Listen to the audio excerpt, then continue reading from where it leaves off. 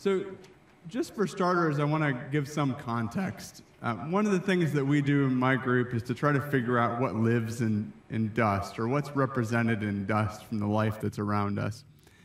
And so we would do things like swab the dust right here.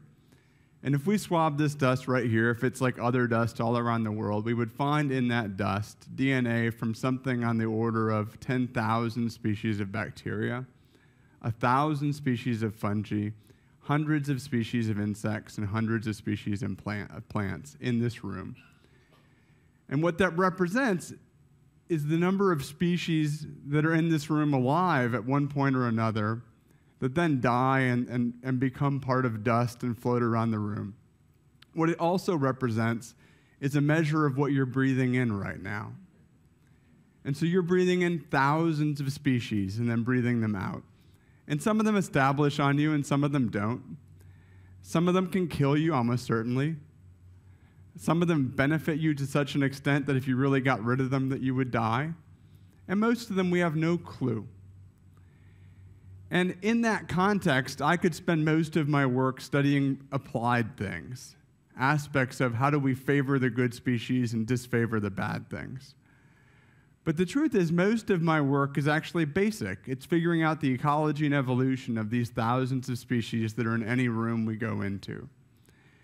And so, what I want to talk about today, in the context of work on microbes and microbiomes, which I heard somebody say, What the hell is a microbiome? It's, so it's, a microbiome is just the assortment of microbes in some context, some habitat. And so you can talk about the gut microbiome. And it's really just the, the species in that forest of microbes. And so I could talk about many aspects of that. But what I want to talk about is why the, the work on the basic biology of these species that live around us every day, why it matters, why the context and blue sky work matters, and why it actually might be more important than some other kinds of work and ultimately pr- producing applied benefit. And so, if you want to go to sleep now, because um, I, I know I made it kind of dark, the take home is that many of the species that live around you, species you disregard or maybe even actively dislike, have the potential to be of great help to humanity. But I think only if we know their natural history, consider them both in the light of the insights of ecology and evolution and in light of the needs of humanity. I'm going to now introduce a, ca- a caveat, though, which is that I make big points in the context of long stories. And for a long time, I thought this was just my nature. And recently, I discovered a letter written by my great grandfather.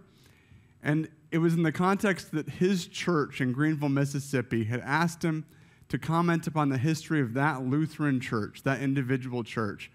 And in response, he wrote, in commenting upon the history of this church, I'd be remiss if I did not comment upon the history of Lutherans more generally. In speaking to the history of Lutherans in general, I feel as though I should speak to the history of Christianity. In mentioning the history of Christians, I should speak to religion. And in thinking about religion, I feel compelled to write about the history of man. and so that's, those are my people. And, and so, in getting to this, this superficially simple point, I'm going to take you on some detours. And the first detours I'm going to take you on are in the context of one part of my life. And so I live two lives. One is as a writer of books about science, and one is as a practicing scientist. And so we'll start with the writing life. And one of the excuses that writing about science gives me is I get to go into libraries, oops, and I get to, to read other people's work. I get to think about other people's stories and think about science that I'm not doing, but how it may relate to the science that I'm doing and that we all could do. And when I was a graduate student, one of these stories that came to me and really inspired this book was a story told to me by this guy, Peter Naskrecki. He was older at the time. This is Peter as a small boy. And, and these are two skinks that he actually inadvertently introduced to Poland, and they still live there. Um, but so Peter came back uh, to the University of Connecticut where I was a graduate student, and he, he came with a story that I then went and read more about.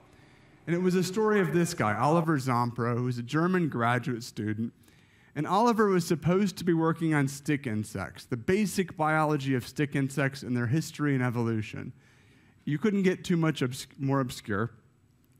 And Oliver was looking through drawers, looking at stick insects, and decided do I have a pointer on this?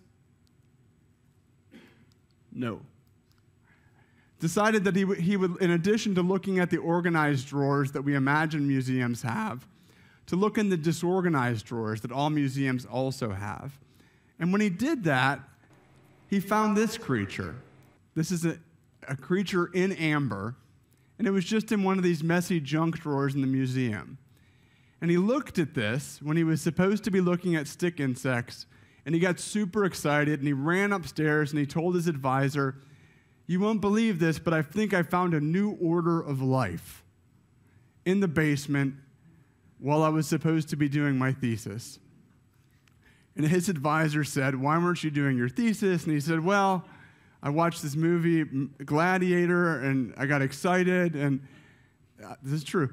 And, and, so I looked in this other drawer, and his advisor looked at this, and he didn't know what it was either, but it couldn't possibly be a new order. A new order would be like finding bats, not knowing that bats exist. It's not the kind of thing you do in the basement. But his advisor thought, well, let's check this out. And so they sent emails to other museums asking if people also had insects like this one. And this, this insect is an amber.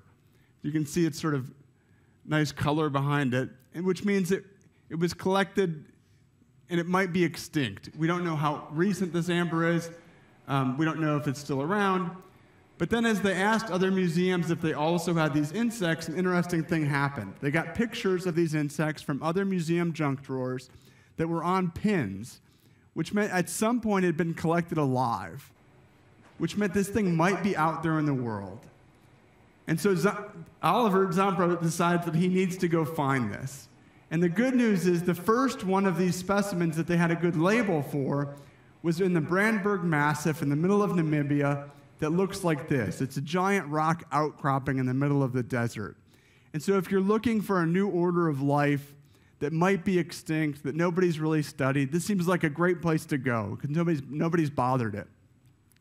The problem is, Oliver Zompro is a broke graduate student, and there's no way he can get to this place. And so, this is when he found my friend Peter Naskrecki, who at the time worked for Conservation International, and agreed that maybe this was a new thing. Maybe they could go look for it.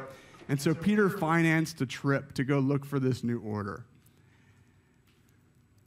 And so they go and they have these cards with these pictures on it of this potentially new kind of life and they take them around and they say to people, you know, excuse me, have you seen my little bug? And people give, give him the look that, you know, you would get on the street in Dublin if you asked this, right? But, but then they get helicoptered in to the top of the massif and they bring all this stuff with them. And I should say that on this expedition, there was so much enthusiasm that in addition to the people who go to the field a lot, a lot of out of shape entomologists who don't go to the field a lot also joined up. And this becomes important later because what they're doing is they get helicoptered to the, the massif and then they're going to walk out. And so they get there and they start to look for an insect that is about this big in the middle of the desert. And so they look and they look and they look. And this is about the point when they start to question the trip. Some of them start to question their relationships. Others question their whole life work, and they keep looking, and they keep looking, and they keep looking, and then all of a sudden there's one of these creatures alive. And it is, for an, for an entomologist, it's totally different. It's a new thing. And so they're super excited, and then they round a corner, and then there's another species. And, and so it's this great moment, it's this great discovery, and now they've just got to hike out and tell the world what they've found. The problem is, it's arduous, and now they've got a whole bunch of insects in these little baskets that they want to carry out. And so they start hiking out, and it proves too much. And so they start to leave clothes behind, they leave food behind, and I picture them hiking out like just in their underpants, but with just these insects on their heads that they're not leaving the insects. And if they got to go naked to keep the insects, they're going to do it. And so they finally make it home. And because Oliver's a grad student uh, who is still young and impressionable, he decides that the best name for this insect is the gladiator insect, because that's what he was watching when he first thought to look for it. and that sticks. And because he's an entomologist, the way he presents it to the world is he draws pictures of its genitalia, which is what you see on the other side. And so he presents this to the world, the gladiator insect and its genitalia, and what he hopes is that the newspapers all around the world are going to say, Oliver, I can't believe what you've done. This is amazing. And to a great extent, this is what happens. The New York Times carries an article, it's in Time magazine. It's a big deal, a big branch of the evolutionary tree of life. But then something funny happens, which is that other people look in their junk drawers because they think, I think I've seen the genitals of an insect like this before. And when they do, it turns out it's not just on the Brandenburg Massif, but it's all over dry parts of Africa, including in abandoned lots in Cape Town, including places like this here, which is an abandoned lot right behind a school. And so to me, this is this amazing part to this story, which is that a kid could have discovered this new order of insects. And this story goes on, and Peter comes back and he tells me it, and it gets written about. And then Peter goes back to South Africa again after some of this has been unveiled. And I thought I would write about this story in that, that book, Every Living Thing, but it didn't fit because somehow it was simultaneously too central and not resolved. And so Peter goes back to South Africa. He's in Cape Town. Peter hates cities and people, and he likes katydids and being out of cities. And so we got a ride with a trucker, and he stops at a truck stop, and all he wants to do is to get away and go look for insects. And at the truck stop, while the trucker is peeing, Peter gets out of the truck and looks in a bush, and in the bush at the truck stop, he finds a pregnant gladiator insect and four new species of katydids. And so this to me was the resolution of this story. But this was a really important story to me as a graduate student because it had these very important lessons. One was that they, we miss amazing phenomena all around us. I mean, you don't even have to like insects to know that finding a totally new branch in the tree of life is a pretty big deal, and that a kid could have done it. But the other piece is that in order to discover those things, to see those phenomena, it often requires that we assume nobody else knows. Because that's really what Oliver did. He opened the drawer, saw this thing, and he assumed nobody else knew what it was. And so this was incredibly sort of stimulating to me as a grad student about what, in terms of what I could discover. But what took, took me a long time to realize was that this is also part of applied discovery. If we want to do great applications, make great medical discoveries, do better medicine, do better discovery of enzymes, that this is part of that story too.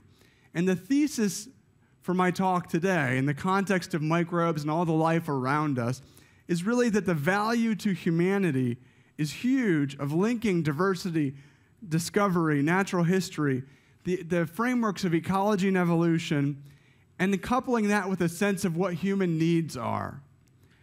That we need to do this to make big discoveries. We need to couple our sense of what we need immediately with this basic work out in the Brandenburg Massif. And I'm going to tell you, I'm going to work through this thesis in the context of examples, of stories, because that's what I do. In honor of the science gallery, there's also a lurking hypothesis, which is that art often plays a disproportionate role in these discoveries, too. This, this so happens to be a great Vermeer painting, which is just down the street. And we know that Vermeer and Anton von Leeuwenhoek, the great the father of microbiology, they interacted in one way or another. And, and I think it's plausible that they influenced each other back and forth. The artist influenced the, the amateur scientist in terms of what he looked at, and the amateur scientist influenced the artist in terms of his use of lenses. But I think this happens again and again, and I'll try to shed light on those lenses when they come up in the context of the story. But now back to the library and the context of writing about these stories. One of the contexts I've been writing about a lot is in the context of the human heart. Now, the human heart seems very far removed from the Brandenburg Massif because if the Massif is one of the least studied places on Earth, the heart clearly is one of the most studied things. And I think the reality is that this is entirely wrong. And I'm going to show you some evidence that this is wrong in the context of stories. The first is a story about this guy, Akira Endo, who grew up in Japan. His formative years are just after World War II, he grows up hungry in a poor family where collecting mushrooms ends up being a huge part of where they get food. And so knowing mushrooms is a big part of his childhood. And so he decides early on that he wants to help people and that somehow he wants to do that with mushrooms. And he wants to do it with, with mushrooms and with other fungi. He's thinking about this in the context of the work by Alexander Fleming, in the context of the work that leads to the discovery of antibiotics. I think we, many of us have heard the story of Fleming. The one we hear is that he accidentally leaves the sandwich out. The sandwich grows penicillin fungus. That fungus leads him to think about the wars between fungus and bacteria, and he then discovers antibiotics. The actual story is way more interesting and involves these pictures that you see at the right. It turns out that Fleming was fascinated by art and he was treating lots of syphilis patients who were disproportionately artists. And so they gave him art supplies. And so he thought, what kind of art could I do that they couldn't do? And so he started to do art with bacteria. And so he would inoculate specific strains and species of bacteria at the precise time that they would all grow up to make these pictures. And he was terribly excited about them and loved them. And he actually showed the top one to the queen, and he said it was her, she didn't respond super favorably, maybe some of the details lost in time. But in any case, one of the things he had to do in order to make these paintings was he had to keep an eye out for unusual bacteria that might help him. And he wanted things with weird colors that grew in weird ways. And so he was always leaving things out. He was always cultivating the unusual. And so it's really in that context that he discovers the war between between fungi and bacteria that ultimately leads to the, the first antibiotics. And, and I, so I think that's an interesting story in the context of the, the gallery. And this is actually a, uh, one of the first plates he looked at. And so you have the bacterial growth, you have the penicillium colony, and you have this space in between them, this sort of artistic space where the, where the penicillium colony is producing antibiotics that are killing the bacteria. As Endo thought about this, he started to think about what were all the other ways in which fungi could do useful things that might be in the service of humanity. And if fungi and bacteria have been at war for hundreds of millions of years, maybe he could think cleverly about ways to use the fungi. And so the first job he ever gets is actually with this in mind. He was working on uh, wines and fruit juices which had too much pectin in them which is part of it's a residue from the peel from the plant itself. And so his boss said, Can you get rid of the pectin? And so the first thing he thought was, Well, I'll try and see if there's a fungus that naturally does this. And so he went out and just looked for fungi in the wild that were growing on fruits, and he found one really very quickly. And so this is still used in production of, of ciders and, and some wines to get rid of the pectin. But this emboldened him, and he thought, where else could fungi be useful? And for reasons not totally clear, he eventually comes to think that maybe in the context of, of the, the balance of compounds in the body. And it was about this time that he went to the US and he saw lots of people with heart problems. And he started to think, well, if these heart problems are due to too much cholesterol, clogging of the arteries, maybe there's a fungus that actually fights bacteria by interfering with the production of, of cholesterol. And maybe I could use that fungus to alter the, the status of these people with too much cholesterol. And, it, and what he, in essence, wanted to alter was this enzymatic reaction. And so he goes out and starts to look for fungi that might do this. And he happens to have 6,000 fungal strains because of long standing collections of fungi in Japan, because of basic biology and he starts going through them one by one. And in 1971, after about eight years of work, he finally finds one called citrinin, which seems to interfere with the production of cholesterol and seems to work. And so he thinks this is the big deal. This is going to change everything. And then he gives it to rats, and it gives the rats kidney stones. And so he has to start over. He starts over, he gets through another 3,000, and in 1973, he has another one that works in the lab, but it doesn't work in rats. And so his boss tells him to give up, that he's done nothing useful in now eight or 10 years. And he happens to talk to a friend who's got some chickens. And, he says, and Akira Endo says, Can I borrow your chickens? His friend says, Well, yeah, but you sort of seem more like a guy who's going to kill them, and then I don't want him back. But okay. And so he tries it in the chickens, and it works. It reduces the cholesterol in those chickens. None of them suffer heart attacks. And this is a big deal. Suddenly he feels like he's on to something. This becomes the precursor to statins. I, I, won't ask for a raise of hands, but I would guess about this many people in this room are on statins or some derivative to lower cholesterol. This is how they were discovered. They were discovered in the context of the basic evolutionary biology of thousands of fungi species. And they produce this wonderful gift from nature that's really changed the course of how we think about heart disease. And they're overused, but still, especially in partnership with other treatments, have reduced the number of deaths due to cardiac heart disease dramatically. Another hard example heart transplants. Heart transplants are this amazing, amazing thing where we take the heart from one person and we put it in another person. It's inconceivable that, that this happens. And yet, the other day, I was talking to a group, and a young woman came up after, and she, she was asking about college, where she sh- should go. And then she said, By the way, I've had a heart transplant. And it's a by the way. Right? It's not, I'm a heart tra- transplant recipient. It's, I'm thinking about college by the way. And so, this to me is just miraculous. But where does this miracle come from? Well, it starts with this heart transplant surgery, which was a success. And Christiaan Barnard, who did this, became an international superhero. He slept with movie stars. He was on Time magazine. His wife really didn't like the sleeping with movie stars thing.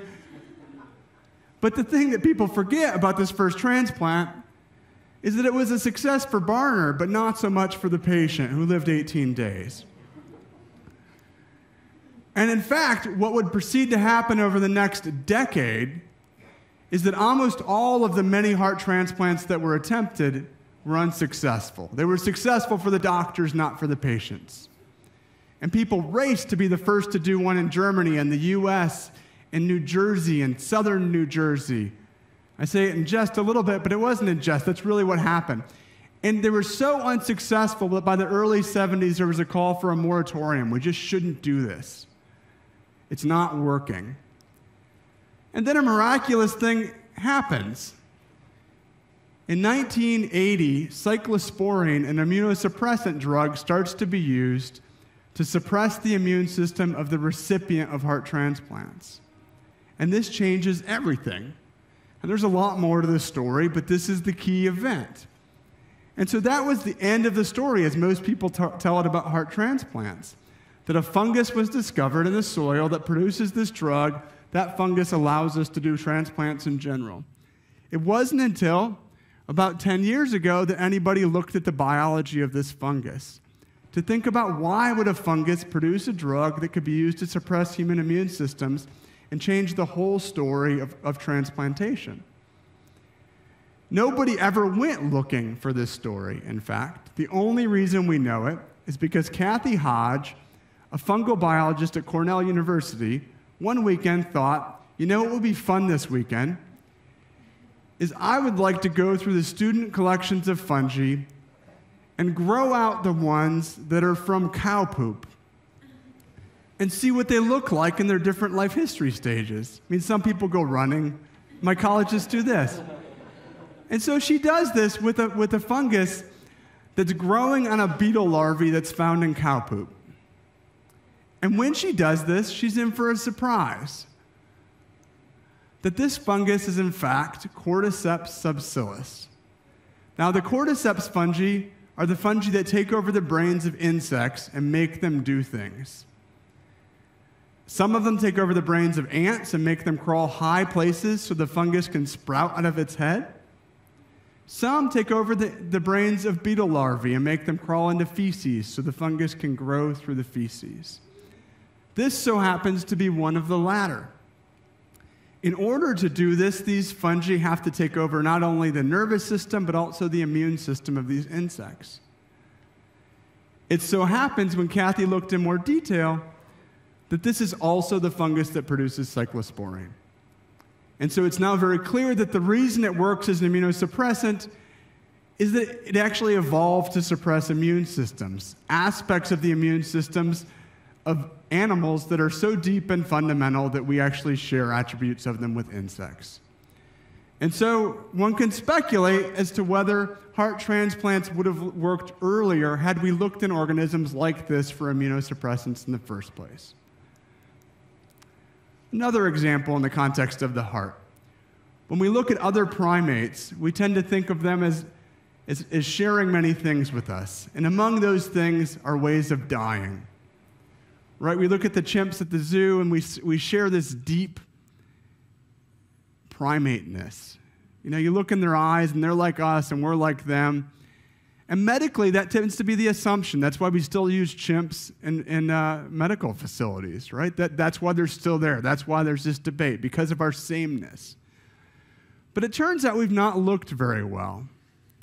And so this not looking also applies to the heart. And so, to the extent that anybody thought about it, if you would have asked, do chimps suffer heart attacks? The answer clearly is yes, they do. Sometimes they just fall over in the cage or in the forest, dead of a heart attack. And so, if you would ask the second question, is it caused by the same thing as, as the cause of human heart attacks, clogging of the coronary arteries? The answer was definitely yes, although nobody looked. It had to be yes. And it wasn't until about 2005 that somebody started to look. Nissi Varki and Ajit Varki at the University of San Diego started to look at chimp hearts that were in paraffin wax and in collections that had died of different causes. And they found, sure enough, there were chimps that had died of heart attacks. But the weird discovery was that those heart attacks were of a kind never ever seen in humans a cross linking of the muscles. And so the first mystery was what causes that? No one has any idea, and there's no research on it. The second mystery was why they don't get the kind of heart attack we get. And so the first assumption was, well, chimps just have low cholesterol, or they have, you know, high good cholesterol and low bad cholesterol. But when you look, it turns out that chimps have terrible cholesterol from a human perspective. If a chimp walked into a hospital and everybody got over the whole there's a chimp walking into a hospital thing, a chimp would almost certainly, even a baby chimp, would be given statins. And so it's not the cholesterol. And so this suddenly raises the mystery of what's killing the, the chimps that's not what kills us, and why is what's killing us different from what's killing the chimps? And the truth is, we actually don't have an answer to this yet.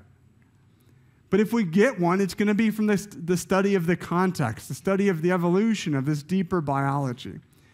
The other question this raises is how ancient is the fact that we tend to get clogged coronary arteries? And for the most part, the medical community has assumed that the answer is about since like the 1940s when we started to sit more and eat more crappy things. Like that, it wasn't a big body of work that studied this, but everybody thought, sure, that was it. And then a group of people started to do, I wasn't flipping my slides, I got excited. So there's a chimp that's died, and this is the difference in the hearts a group of scientists started to look at mummies. And now the assumption would be that if you look at mummies, they should have nice, clean coronary arteries that look like brand new pipes, the kind of thing you just want to sh- push blood through. And so the first mummies that were examined were Egyptian mummies. And the Egyptian mummies had tons of coronary clogs. They looked like guys from New Jersey. And so then people said, well, it's something about the fancy mummies, the pharaohs. They, they were just like us. They didn't have Wendy's and they didn't have biscuits, but otherwise they were the same. It turns out that almost all the mummies anybody has looked at show evidence of coronary clogs. Not always with the same frequency as us, but always with a much greater frequency than the chimps. And so suddenly, this is another medical mystery, a mystery that again is not totally solved but a mystery only presented by the context. To go to things I've written about from my other book that was really not focused on the heart, but the body in general. I became really interested in the story of Toxoplasma gondii. It causes toxoplasmosis. Anybody know when, when do you get told about toxoplasmosis? Yeah, so if, if you're pregnant, you're not supposed to mess around with kitty litter, right? Or I guess you should never mess around with kitty litter. But if you're pregnant, you shouldn't change the kitty litter. And the reason is that you can get infected as part of this cycle. And, it, and that's mostly the only time we hear about Toxoplasma gondii. But to people of my tribe, basic ecologists and evolutionary biologists, we've heard about it in a long time, for a long time in another context. Because it turns out that this is a cool parasite. It gets into mice and rats, and then it gets into cats, and it reproduces only in cats. And this is a weird lifestyle unless you're in a cartoon. If you're in a cartoon and you can guarantee that you get from a mouse or a rat into a cat, then it's, you know, the odds are high. But the average mouse or rat probably spends a pretty low chance of ending up in a cat. And so, how does this work? Well, it turns out that the mice and rats have brains, the performance of which is altered by this parasite. And so, when the parasite is present, the mice and rats are less scared, they're less vigilant of predators, they're attracted to the smell of cat pee, and they're more likely to get eaten by a cat. And we now know this happens in part because the parasite's actually producing the precursors to dopamine in specific parts of the brains of the mice and the rats. And so, for me as a basic biologist, this was an amazing story. Look what evolution can do. It can totally mess with mice. But it was a basic story, it wasn't a human story. And the only reason we know about this is because of basic funding to obscure biologists you've never heard of. But there's a funny thing about this parasite, which is sometimes we get infected via another route. Sometimes we get infected by eating meat that's not fully cooked. And so when this happens, we can aim, actually get the same life history stage that a mouse or a rat gets. And so, at least in theory, and in circus performers, the parasite could go through us to find a fruitful and reproductive life in a cat. But of course, this is silly because we don't get eaten by cats very much, and it's not part of the story of the parasite, and we're smart, right? I mean, we can do lots of clever things. We can build cities and rooms and make projectors and the whole deal. And so we, we are not part of this story. Except that in the last 10 years, as people have started to look at what happens when you get infected by Toxoplasma gondii, it becomes clear that we are part of this story. The people who are infected show increased activity, decreased reaction times, and altered personality profiles. These personality tests you take that identify like who you are, what type you are, get infected by Toxoplasma gondii, and your answers change. You're two and a half times more likely to get into a car accident if you've been infected. And the single best predictor of the onset of schizophrenia in long term military studies is infection by this parasite. And so suddenly, this is a different kind of story, the basics of which we only know about because of basic biology. But still, you might say, don't mess with the kitty litter, don't eat uncooked meat, and it's not my story. Except that in Ireland, about 35 to 40% of you are infected. And so, which ones? Who, who is having their personality, their behavior, their essence altered by this parasite? And even more than that, it turns out that upwards of 80% of the French are infected. This could explain the behavior of an entire people. and all this comes from basic biology. And so, what I'm arguing through these stories is that the context matters. Knowing about the natural history of these organisms matters, knowing about their ecology and evolution. And we need to know it when we figure out their practical relevance. We need to couple it with that practical relevance. And that takes time, it takes basic study, it takes even knowing about obscure things like this. But does it work? Can we put this into practice in a bigger way? And so the good thing about being a science writer and a scientist is I can go back to my lab and try. And so this is what we've tried to do. It's to take a systematic approach to thinking about how we use ecology, natural history, and evolution to do applied work we're not doing the applied work, but we're doing work that we think we can meet up with applied people on and have applied insight. And so to do this, we think about our evolutionary history. We think about other societies that have already met our challenges. And we look in light of all these species you're breathing in right now. Did I mention there's a fungus that's in all of your lungs and we have no idea what it does? There is. Right? I actually think it's a beneficial fungus Basically, nobody studies it. It eats steroids, it's there. Um, but that would be a good target. We're not studying it. What are we doing in the lab? We're thinking about evolutionary history in the context of obscure places like your belly button. So we started a project that first was all about public engagement called the Belly Button Biodiversity Project, in which we sought to engage people in sampling their own belly buttons for microbes, with the idea that this was a great context in which to talk about microbiomes, you know, those suites of microbes that live in a particular place, and to talk about the fact that we know that they're beneficial, that if you cleaned all the microbes off your skin, you would die. You would die within a week because you would be infected by a pathogen. We, we know these things are valuable. This is a context in which to talk about them. But as we started to sample people, other things happened. First, artists started to work with us, which was super fun. So this is Joanna Rissou, and she does these great images of people as a function of their microbes. And so this is Joanna, this is Joanna as a function of her microbes. And one of the things that she presented to us that was really great in the context of this work is the reality that most of the time when we encounter each other, we're encountering our microbes first.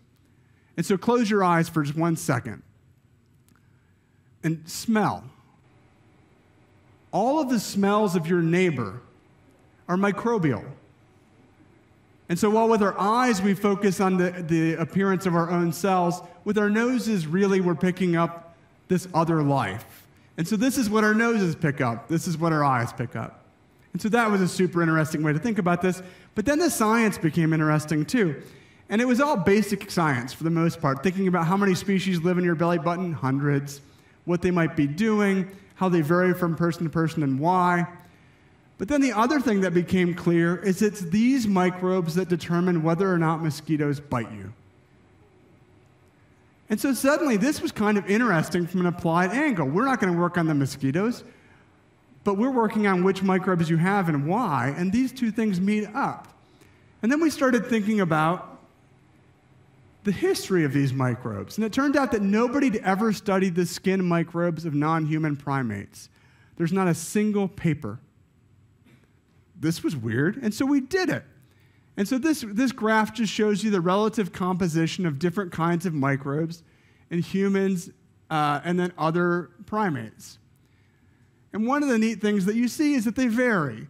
And this blue, that's Corynebacterium. That's what makes armpits stinky. It's fed by a specific gland in your armpit that has no other function than to feed these microbes. Super slow growing, Turns out it's actually more abundant on chimps and gorillas than it is on humans, and that we have way more of Staphylococcus, which includes bad ones and good ones. Well, that was kind of intriguing. We also figured out that zookeepers are actually more like chimps and gorillas. And we only know that because one zookeeper kept calling to say, Look, I smell like a gorilla. I'm having trouble dating. What do you know? She has gorilla microbes. I'm a basic biologist. I can't fix it. Um, but then the other thing that we started to do was to compare people, because there was all, there's a lot of variation among people. And so we compared people who use antiperspirants to those that don't, and to those who use deodorants. And then we did an experiment where we asked people to stop using them. And what we got out of this, just as a quick take home, is that the people who use antiperspirant have way less of the corynebacterium, that, that ape bacteria, and, and they have more staphylococcus. And so, what this now suggests to us is that the predominance of Staphylococcus, which is our normal medical skin microbe, on humans may in part be due to the predominance of the use of antiperspirants and deodorants. And so, this is what we're exploring now. Is this interesting? Almost certainly from an infection standpoint, because these microbes in your skin influence what your, your risk of infection. But also from the perspective of the mosquitoes, because it turns out that Staphylococcus is one of the bacteria that most attracts mosquitoes. And so, have we artificially favored bacteria that make us more tasty to mosquitoes? Maybe. And so, we're now working to think about can we find the microbes that do the opposite and develop probiotics? We won't do that, but we've engaged the applied biologists who can think about that. We never would have thought about that without this context. Another example face mites. Raise your hand if you have them. Right, so we recently discovered that everybody has them. We didn't know that because nobody studied these for the most part, except for uh, one person in Dublin, um, since the 1960s. And all that study was based on just looking at them. And so we know very little about these mites. And we didn't even know how many people had them. And so we've started to use genetic approaches to look at these mites. And one of the bets I'd had for years was that if you sampled a group of people this big for their face mites, these are animals that are living in the follicles on your head, right? We should know about them. But they don't kill us, and we can't eat them, and so nobody funds it. Um, but, but so they, they, they seem as though something we should study. But we haven't. And so I bet that if you sampled a room this big, you would find new species of these mites. And in fact, that's what we found. In the first 40 people we sampled, we found lineages. This is just an evolutionary tree. The mites don't focus on it in detail, other than to note there's this one really long branch, which is to mean we're finding these lineages that are really, really different from geographically different populations. And it looks as though these mites track our human history. The other thing that's interesting from these mites is that they've been thought to be implicated in, the, in rosacea. But they clearly don't cause it because everybody's got the mites. And so what's going on? And so it's been speculated it's their fecal, it's their microbes because they don't have an anus, and so they just fill up with feces and then disintegrate. Um, happening right now. And so it was thought that it's just the mites, but that's wrong. And so what it, we're now looking at is the possibility that people with rosacea have picked up a mite from another species. And so they're generating an immune response to this mite from another mammal species. But in order to really do that, we have to know what mites are on other mammal species. And although it's known that there are mites on chimps and gorillas, no one's collected them, and so we don't even know what they are. And so we're starting to do that. A bonus art lesson in order to do this work, we, we, wanted to produce art that people would sort of feel captivated by, like that kids could look at and think, oh, that mite is interesting. And so we went to get scanning electron micrographs of the mites at the American Museum of Natural, or the, the American Museum of Natural History. And so we went to get these pictures really just to, to show people, so they could see. We actually did a giant cutout of one of the mites that somebody here had a picture taken in. But when we went, a funny thing happened. We saw things we knew about their biology. They have cute toes that are clambering over you right now. They have no anus, which is why they kind of explode when full. I had a cousin like that. But then there was a really weird thing, which is that we've known since 1920 that they chew at the cells in your follicles, and that's how they eat. But that would presuppose that they have some mouth part with which to chew. And it turned out that no one had looked. And that in doing art, we discovered they have no mouth part with which to chew and they appear to suck. They have a vacuum face. I have a cousin like that too. And we only know this because we needed to do art to engage kids. And so this is just another way of showing that these uh, application adjacent things are possible and done better in the context of evolutionary history. The other thing we're doing is looking to other societies. These are carrion beetles.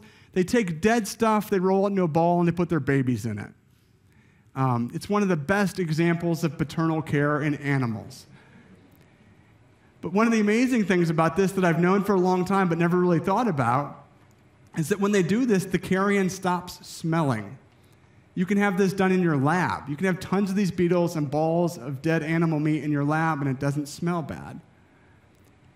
What this means is that they're manipulating the microbial environment in ways to benefit themselves, and they're almost certainly using interesting antibiotics. And so we're now looking to these beetles for those antibiotics. We're also looking in light of all these species you breathe in every day that live on you, that live with you, to try to figure out what we know about them, but also in what ways they might be useful in light of their ecology. And so we've started sampling homes around the world. And this, this in and of itself it's been interesting because I'm just interested in what, what lives with us and how that's changed through time. And the first thing we did to do this was we just did something really obvious. We asked people to take pictures of, well, the first, first we just asked them, do you have these in your house? Does anybody have these? Camel cricket? They're mostly blind with long antennae. If you walk in the dark into your basement, they jump at you. People don't like them so much. Um, I love them. But we asked people, do you have these? And then one day we got these responses because we did this digitally. And the white dots are people who said they did not have them, and the red dots are people who said they had them. And this map is wrong because the people just didn't understand somehow. Because we know that actually these camel crickets live all across North America. And so our first thought was that people from California are scared of things. And so just wouldn't admit that they had them. And so we said, we went back to the, the picture, to the power of cameras. And we said, well, can you take a picture? And when we asked people to do that, we were in for a surprise. Instead of the little camel cricket we expected, almost all of these pictures were of a giant thumb sized camel cricket we didn't know lived in basements in the US that's been introduced from Japan and spread unnoticed basement to basement all the way from Boston to Iowa. And we didn't know because everybody else thought somebody knew. and so we started to think, because people said, well, what use is it? And as an ecologist, I just love these species. They're fascinating. I mean, I love their stories. And that, that question bristles. But I thought, all right, what use could it be? And so I started thinking, and we thought, well, these are animals that eat the worst stuff you have in your house. They eat paint, they eat old carpet, they eat each other maybe they have in their guts microbes that, allow, that would allow them to break down really hard to break down compounds. Maybe those microbes could be the same kinds of microbes we need in an industrial context. And so we talked to some people who do industrial microbiology and said, What's the biggest challenge you've got? And one of the answers we heard was that when you make paper, one of the end products is this stuff called black liquor and it's the hardest to break down plant material combined with all the toxic things used to make the paper. And it mostly goes into rivers or gets burned. And so she, the industrial microbiologist said if we had a microbe that could deal with this, we could make energy from it and get rid of pollution. And so we thought, let's try and see if these crickets have microbes that could do that. And on the first try, we got eight separate, separate strains of microbes from these camel crickets able to break down this black liquor. Which then suggests to us that if there are more insects in houses, we're going to look at them too. And so we wanted to know what else was there. And so we go into houses, and we thought we would find tens of species. And in the first 50 houses we surveyed, we found over 2,000 species of insects looks like this because all our work is done at the museum with the public. Sometimes kids on the inside of the glass, sometimes on the outside. This is a breakdown of the kinds of things we're finding in terms of abundance lots of flies and beetles and ants, lots of beetles in terms of diversity. Also, crazy things this spider spits silk on its prey. Doesn't make a web, it just walks around, it sees something edible, it spits at it. I had a cousin like that. it only lives indoors. This is the smallest cricket in the world. It was in my kitchen. And so we're starting to find neat stuff. And then we thought, oh, we're missing the microbial piece. We're missing the microbiome of the home. And so we start to sample that. And so we sample all of these habitats, or really the participants in our projects do. And then we get a breakdown of which species live in these habitats. And so this is a kind of map, and I'm almost done here of the composition of species in different homes. And the closer together two points are, the more similar the species that live in them. And so, two blue dots that are close together have almost the same species.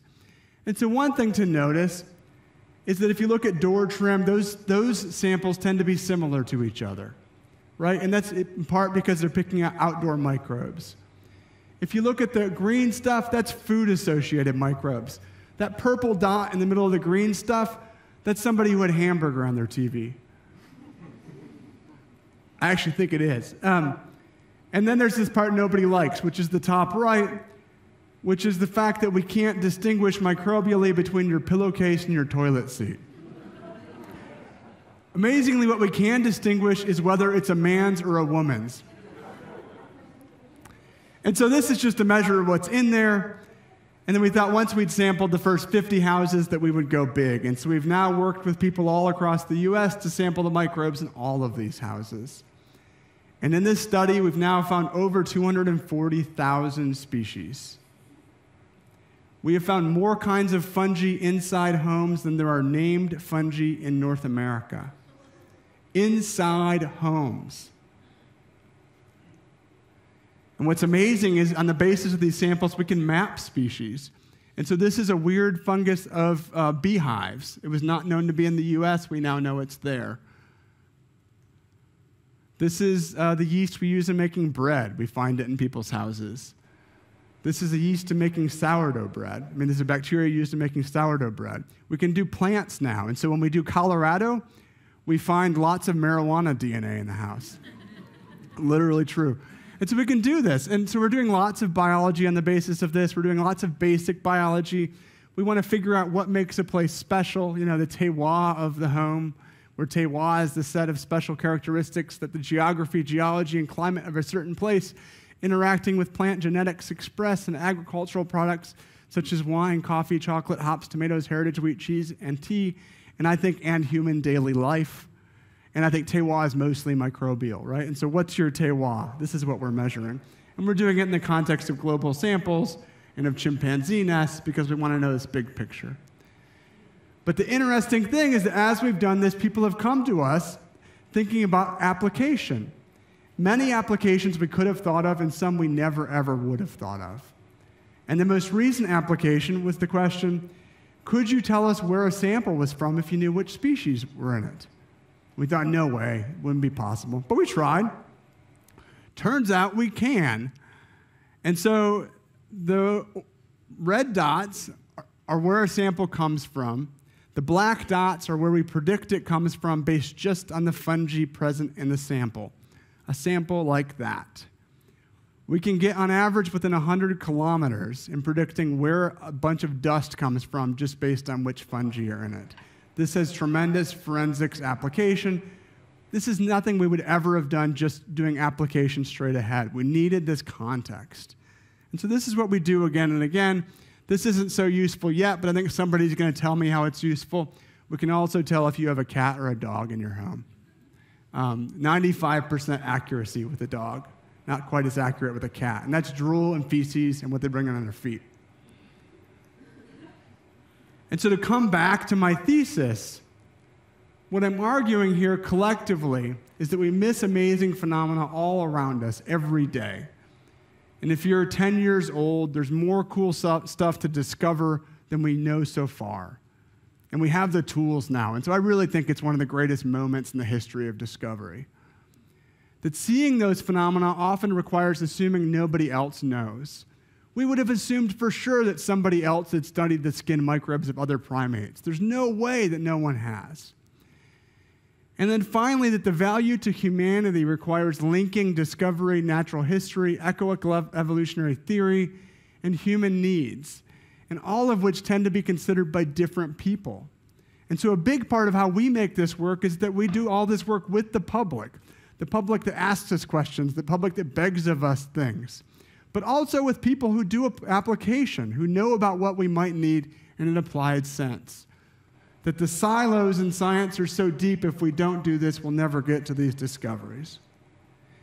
If I was a really good speaker, this is where I would come around and tell you that this new insect lineage helped to cure cancer. I'm not that good. But what this, this gladiator insect does remind us of is that we won't know if something like this cures cancer unless we know something about it. And right now, even though we've discovered this order of insects, we know too little about it to even think about how it might be useful. That's not even mentioning the fact that on it and in it are hundreds of other species we know even less about. And here I'll offer a provocation, which is a provocation about the number of species on Earth. Something I've spent a fair amount of time studying but that we've kind of abandoned recently. Linnaeus estimated there might be 12,000, and he thought he would name them all. And by he, he meant his students, and he would take credit. there are about 2 million species named today. The most conservative estimate anybody has offered is that there are 8 million species out there today, which is to say, six out of every eight things you bump into does not have a name. My personal, so Terry Erwin estimated there might be 100 million. My personal provocation is there could be as many as 200 million. And the amazing thing about this is we know so little that even if I'm totally full of it, we're not going to know for 500 years. Which is to say, unless we know something about those other species, they'll never become part of how we think about use and value. And so I'll close here. I realize I got to the end of my three hours. Um, and, and I'll thank you for coming tonight. I know it's beautiful outside and you could be playing frisbee or looking for